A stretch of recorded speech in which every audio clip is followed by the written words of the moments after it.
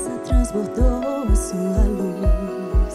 Na cruz, seu plano consumado.